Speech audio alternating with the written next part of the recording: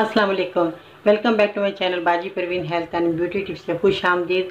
आज की इस वीडियो में बात करेंगे जिन लोगों को बहुत ज़्यादा तजावियत होती है, मैदे में जलन होती है, पेट में बहुत ज़्यादा गर्माइश हो जाती है और पेट जो है कड़ाव रहता है, पेट के अंदर बहुत ज़्यादा मरीज़ परेशान होता है। मर्द हो, औरत हो, बूढ़े हों, इन सब के लिए नहायत ही मुफीद और बहुत ही छोटा सा तजर्बे से गुजरा नुस्खा आज आपकी खिदमत में पेश करूँगी। मेरी वीडियो के अंदर देखिएगा, सुनिएगा, ताकि आपकी परेशानी घर बैठे ही दूर हो जाए। तो आइए जानते हैं कि आपने क्या चीज़ें लेनी है और इसका इस्तेमाल किस तरह करना है।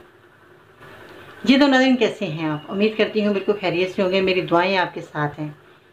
आज की वीडियो में मैं जो ये बताना चाहूँगी सबसे पहले तो कि जो लोग बहुत ज़्यादा चटपटी और तली हुई चीज़ों का इस्तेमाल करते हैं, उनका सबसे ज़्यादा मैदा ख़राब होता है।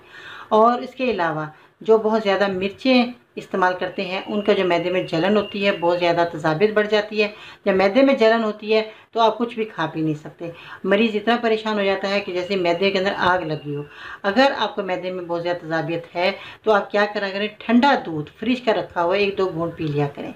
तो इसमें जो है मैदे की जलन ख़त्म हो जाती फौरी आपको देखेंगे, आपको फौरी आप जो है, रिलैक्स महसूस करेंगे और उसी वक्त आपको फ़ायदा होना शुरू हो जाएगा।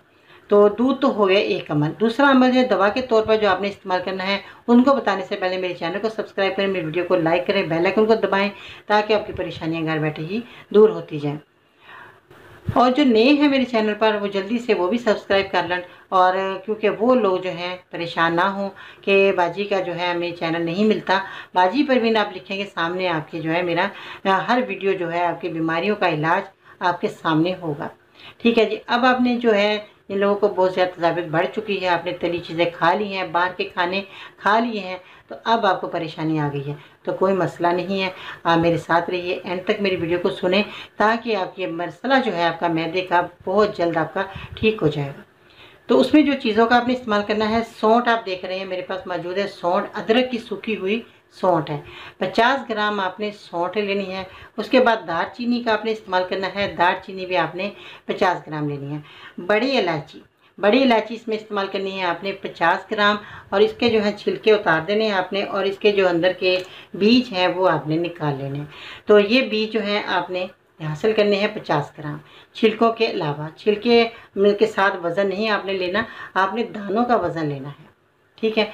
और उसके बाद जो है आपने मिश्री का इस्तेमाल करना है। मिश्री जो है आपके घर में मौजूद है। देखें, मिश्री के जो इतने फ़ायदे हैं कि बेशुमार फ़ायदे हैं। ये ठंडी होती है और आपके मैदे को सुकून मिलेगा और आपकी तजाबियत ख़त्म होगी, आपका जलन ख़त्म होगा, क्योंकि इन चीज़ों का आप इस्तेमाल करेंगे जो मेरे पास मौजूद है। सब बेहद फ़ायदेमंद है। मिश्री जो है आपने सौ ग्राम लेनी है। बाकी जो चीज़ें हैं, तीनों आपने पचास पचास ग्राम लेनी है। मिश्री आपने 100 ग्राम इसके अंदर मिला लेनी है और पाउडर बनाइए अच्छे तरीके से। जब ये पाउडर बन जाए, पिसा हुआ आपने कुछ भी बाज़ार से नहीं लेना। ये आपको जो है मैं बार बार नसीहत करती हूँ कि बाज़ार की पिसी हुई कोई चीज़ इसमें ऐड नहीं करनी। तो जब सब चीज़ें आप मिला लें आधा आधा चम्मच आपने दो टाइम आपने खाना है। खाने से पहले, खाने के बाद नहीं, खाने से पहले आपने इस्तेमाल करना है। इसके बाद जो है, आपने खाना खाना है। यानी कि जैसे सुबह निहार मुँह आप इस्तेमाल करेंगे, उसके बाद आप नाश्ता करें, फिर आपने चार से पाँच बजे तो आपने ये इस्तेमाल कर लेनी दवाई, फिर आप रात का खाना खाएँगे। ठीक है जी? फिर आपकी जो है तजाबियत देखेंगे कैसे ख़त्म होती है। आपको खुद ही नहीं पता लगेगा हमारी तजाबियत कैसे चलेगी। तो ये नहायत मफी नुस्खे हैं छोटे छोटे नुस्खे हैं, कारामद हैं और मेरे आजमूदा हैं और तजर्बे से गुजरे हुए नुस्खे हैं। आप ये इस्तेमाल करें और अपनी बीमारियों को दूर भगाएँ। छोटे बच्चों को अगर जलन हो रही है, मैदे में तसाबियत बढ़ गई है उनको उनको आप एक चुटकी दे दीजिए और फिर देखें उनको कितना फ़ायदा होगा और ये मज़े का बन जाएगा। जब इसमें मिश्री ऐड हो जाएगी तो ये बहुत मज़े की दवा बन जाएगी और बच्चे भी शौक से खाएँगे, बड़े भी खाएँ। बूढ़ों को भी आप देख सकते हैं, वो भी बैठे रहते हैं वो खाना खाया, बैठ के वॉक नहीं करते। जो लोग वॉक नहीं करते, उनको ज़्यादा तजाबियत का मसला आता है, उनको ज़्यादा परेशानी आती है। तो मैं यही कहती हूँ कि आप बगैर दवा के ठीक हो सकते हैं, अगर आप वॉक करें। ये मेरे ज़ाती तजर्बा है, क्यों? कि जब मैंने वॉक नहीं की दो तीन महीने मैंने पिछली वीडियो में बता चुकी थी कि मैं बहुत ज़्यादा बीमार हो गई थी तो मेरे घुटनों में बहुत तकलीफ़ आ गई थी। मेरे मैदे में जलन होना शुरू कर, मैंने बहुत सारी दवाइयाँ खाई और जब मैंने दवाइयाँ खाई तो मेरे तो इतनी तकलीफ़ हुई, मैदे में इतनी जलन, कोई खाना खाऊं तो वो मेरे को ऐसे हो जैसे बहुत ज़्यादा आग लग गई है मैदे के अंदर।